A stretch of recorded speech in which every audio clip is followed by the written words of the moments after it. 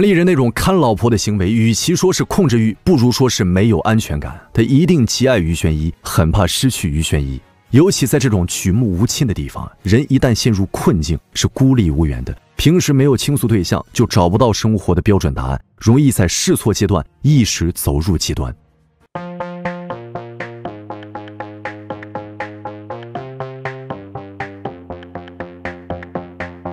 从我开始在网络上写文章以来，每年都要写一到两起案子，比如唐山黑社会打人案、巴厘岛情侣凶杀案、华人女博士被警察击毙案等。每次猜测推理这些社会性案件，事后复盘，主框架基本都没问题。比如唐山案叫没有拔净的黑社会，我推理是一群小混混准备搞地下赌球，发起聚会，聚会现场临时搞了起流氓暴力活动，后面法院公示内容确实如此。巴厘岛情侣凶杀案。我推测是男方在币圈黑吃黑，最后被境外集团杀害。这事情被巴厘岛警方很荒唐的给掩盖了，所以官方没法定论。但从目前各方面的信息来看，个人推测没错的。我喜欢写一些大案，主要是满足自己的好奇心，天生也喜欢做一些推理工作。但因为不能去现场查细节，所以写文章也只做框架梳理。相隔几万里，知道个主线也行。内心破案欲很强烈，还是忍不住写。下面进入正题，陈立人和于宣一都生于一九九六年。美国当地检方说，案发时陈立人夫妇都是二十七岁。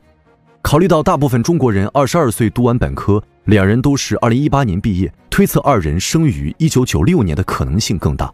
陈立人生于四川成都一户富裕家庭，网络传言其父。是副厅级干部，而于宣一生于吉林松原一户中产家庭，两人打小都是学霸中的学霸。陈立人表现尤其突出一些，小学时是全年级数一数二，高中就读成都七中，能进全年级前五十名，七中在全国中学里排第七，一本率高达百分之九十五。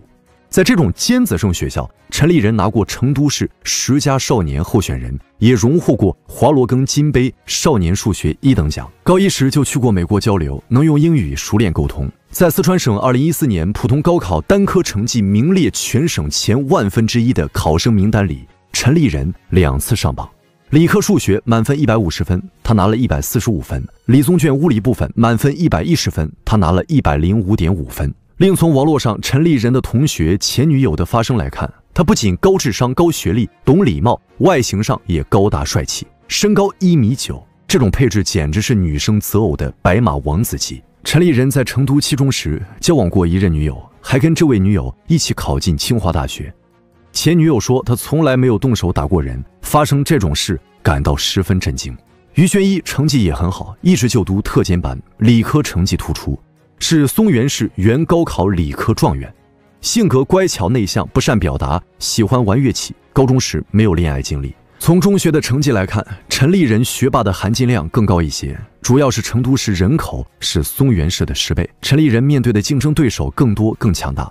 二零一四年，来自西南的陈立人和来自东北的于轩一同时考入清华大学信息工程学院。陈立人在清华时和其中女友分手，跟于轩一谈起了恋爱。二零一八年，二十二岁的陈立人和于轩一同时考入美国加州大学圣迭戈分校。这所学校的硕士只要一年。两人二零一九年同时拿到计算机科学硕士学位。二零二零年，于轩一进入亚马逊工作，陈立人进入谷歌工作。事情发展到这里时，一切还是朝着良好的方向发展，而且是很多中国父母最希望儿女成才的路径。好好读书，到考上国内名校，到去美国留学拿硕博文凭，再进入美国大公司拿高薪。谷歌平均年薪是二十三万美元，亚马逊平均年薪是十五万美元，都远高于中国普通人的收入。我至今记得在北京遇到一位大学老师，他在吃饭时十分开心地说起自己儿子在苹果公司拿五十万美元年薪的情景，已到了逢人就说的地步。这是多少中国父母内心最满足的案例。陈立人和于轩一的锦绣前程止步于二零二四年一月十六日。陈立人在谷歌负责算法推荐工作，经过他的内部推荐，女朋友于轩一在二零二一年也加入谷歌任工程师，两人年薪估计在二十五万美元上下，但都还没有办理绿卡。陈立人和于轩一都喜欢滑雪和露营，志趣相投，又兼多年名校常伴，至少前期有较深的感情基础在。在谷歌一起工作一年后，两人于二零二二年结婚。二零二三年四月，两口子花了二百零五万美元，在加州圣克拉拉县买了一套房。圣克拉拉谷就是我们常说的硅谷，苹果、谷歌、雅虎、惠普、英特尔、易贝的总部都在这儿。邻居们说，这对夫妻刚搬来时还向周围邻里送过饼干，举止友好，也从未听过他们有过噪音或争吵。知识精英的远大前程走得已越来越清晰。不过，我看了下陈立人在网络上发过的自述，两人的感情经历绝不是外界想象的这么美好，应该是磕磕绊绊进入了婚姻。上面这段内容是陈立人在杀妻前发的内容，这里提到过两人相处并不顺利，说于轩一是东北暴脾气，还动手扇过他巴掌。陈立人后面也开始还手，上文出现了 “toddler” 这个词，“toddler” 原意是蹒跚学步的孩子的意思。但陈立人这里可能是指他们家的两只猫，一只美短，一只阿比西尼亚。相对于旁人的言论，两人的自述更有一定的可信度。如果去除掉一些容易自我保护的主观主义色彩，可以推测出两人一直有动手，感情状况整体越来越差。于轩一也经常在清华大学校友会的群里吐槽陈立人的不是。清华的校友也反映，陈立人那时一直盯着于轩一，生怕老婆离开自己视线，很没有安全感。谷歌瑞士分部的网友在网络上发帖称，于轩一在一年前曾想调到苏黎世，但因为他已婚，瑞士同事们在投票时将他否决了。于轩一一年前应该就想离开陈立人，但夫妻感情也没坏到要杀人的地步。上图中陈立人发的这次动手，于轩一摔完东西后报了警。摔东西说明于轩一性格也绝不是逆来顺受型，平时肯定是有一定火气的。警察过来后，将陈立人带走，有可能扭送至法庭。如果留下记录，将严重影响陈立人日后入美国籍。这时候，两口子都慌了。于轩一不停地找警察解释，说只是打了一下，没有受伤，不需要上法庭。到这时候，也就是案发前不久，两人也没到撕破脸要玩命的地步。双方核心利益受损时，也想着要保护对方。关于陈立人在网络上的这些言语，可能有一些质疑，不一定是他发表的内容。但我反复看了其他信息，感觉整体框架上没太大问题。这是两口子日子过不下去，但也没恨到要死要活阶段的表现。二零二四年一月十五日，案发前一天，有一位朋友被邀请来他们家吃晚饭。当时陈立人的状态就很不好，但几乎全程一言不发，目光呆滞，像藏了不少心事儿。朋友怕他们出事，第二天早上又来联系他们，但几通电话都没人接。朋友赶紧带着老婆开车来到他们家，到达后怎么按门铃也没人回应，便绕到住宅后方，发现房间内有血迹，才打电话报了警。按当地媒体报道，警方出警后，透过窗户一看，见到陈立人跪在地上一动不动，一言不发的将双手举在空中，茫然的盯着前方。警方破门后将陈立人制服，在卧室地板上找到了于轩一的尸体，见于轩一的头部受到严重钝器伤害。地板、墙壁、门上溅满血迹。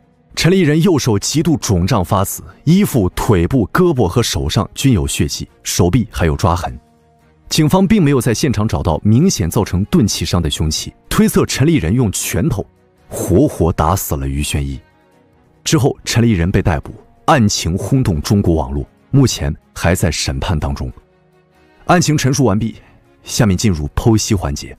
网络上现在流传两种极端观点，一种说法是陈立人本来就是有变态的控制欲，是个控妻狂魔、冷血屠夫，所以才想尽办法把女友从亚马逊内推到谷歌，开个 party 也时时刻刻盯着不放，早看出来他不是啥好东西，才会一拳一拳打死自己老婆。另一种说法是于轩一跟加州华人里的坏男人乱搞，十分淫乱，或者要跟男上司过日子，被陈立人发现了，两人矛盾激化，才发生了悲剧。目前这些观点都没什么真凭实据，纯粹是臆想猜测，而且把人物的性格道德走向极端化了。从目前阅读到的资料来看，两位学霸都不太可能是极端人格，也不是打小就有极端倾向。他们俩都是普通人，就是读书厉害一些。从其他言行看，俩人也跟普通人没什么两样，是不会轻易走向人性边缘的。那些借机攻击男性群体残忍、攻击清华校友会不管事的言论，是故意将事情扩大化。这起案子不能怪男性、清华，甚至不能怪美国，这是一起特殊案例。不具备普适性。从陈立人的网络留言，我们就可以推断出来，两口子吵得太厉害了，不仅相互使用口头暴力，还上手了。这日子早过不下去了，婚姻根本维持不下去。陈立人那种看老婆的行为，与其说是控制欲，不如说是没有安全感。他一定极爱于宣一，很怕失去于宣一。尤其在这种举目无亲的地方，人一旦陷入困境，是孤立无援的。平时没有倾诉对象，就找不到生活的标准答案，容易在试错阶段一时走入极端。如果是在熟人社会，小夫妻吵架有个缓冲带，男的跟老爸喝两杯，女的回娘家找闺蜜吐槽，冲突再大。被亲友们一搅和，本来还挺仇视的夫妻俩，很可能被老爸和闺蜜讲的段子给冲散了。回家又该咋过咋过。陈立人害怕失去于宣一，一旦害怕的情绪失控，又得不到亲友的缓解，年轻气盛的怒气没有地方安置，容易跑到暴力的边缘。把孩子送到遥远的国家去读书生活，一定要先考虑他们的心理承受问题。你一个三四十岁的人都未必能承受的东西，十几二十岁的人怎么承受？陈立人和于玄一又都是学霸出身，他们这一路学业跟职场的发展又太过于顺风顺水，读的都是顶尖名校，进的都是世界一流互联网企业。到了美国，一旦遇到事情或情感上的挫折，容易发生人生折断，就像一棵生长脆弱的小树，咔嚓一下就断掉了。这件事看起来很像是一时冲动下的激情杀人。女权分子们先别激动，我知道一拳一拳打死人很残忍，听我慢慢解释。从案发现场的血迹和伤痕来看，陈立人在下死手前，夫妻俩进行过一场打斗。因为男方手臂上有抓痕，地板、墙壁、门上溅满血迹，两人打斗过较长时间，位置不确定，血迹分布不集中，才会有这种迹象。用拳头打死人，确实表现出陈立人当时满怀怨恨。但也正是因为用拳头，表明这件事并没有预谋。如果有预谋，一般会使用枪支、毒药、尖刀等工具。因为人的手骨远没有头骨坚硬，猛击头骨容易造成手骨骨折。用拳头打死是鲁提辖这种特殊情况。陈立人照片看起来偏清瘦，要预谋杀人，首选项一定不是拳头。徒手杀人是比较典型的激情杀人行为，在国内也通常以故意伤害致人死亡来定罪的。中国最高法关于贯彻宽严相济刑事政策的若干意见里有写过，对于因恋爱、婚姻、家庭、邻里纠纷等民间矛盾激化引发的犯罪，因劳动纠纷、管理失当等原因引发，犯罪动机不属恶劣的犯罪，因被害方过错或者基于义愤引发的或者具有防卫因素的突发性犯罪，应酌情从宽处罚。如果不是故意谋杀这件事儿，在中国判死刑较难，在美国应该更难。在刑罚宽松些的加州，难上加难。在分析完陈立人和于宣一的成长经历、案发前状况、案发现场后，大致可以做一个简单的结论：一、陈立人和于宣一在结婚前后就已经有了较深的矛盾，两人的矛盾到后期已无法调和，已经发展到动手的地步。二、陈立人很害怕失去于宣一。失去于宣一会让他在遥远的美国走向极端。三，在案发前一晚，客人在他家做客时，两人矛盾就已经爆发。个人猜测，于宣一强烈要求离婚，或者两人中有一人发现在外面有人。如果外面有人，于宣一有人的可能性更大。四，客人离开后，两人摊牌时怒火中烧，进入对打阶段。陈立人难以抑制心中怒火，将于宣一活活打死。五，陈立人被判死刑的可能性很低。估计会被判终身监禁或者多年监禁。六，这件事儿属于个案，不要强行跟女权、清华、心理阴暗、淫乱、美国邪恶等联系在一起。最后，我们可以从这个案例中获得两个教训：一，如果在夫妻生活中或者恋爱过程中有一方真动过手，这日子就别过了，马上分，要不后果更严重；二，自己的孩子如果心智不够成熟，不要让他单独去异国他乡生活工作。你这不是在帮助孩子，是在毁了孩子。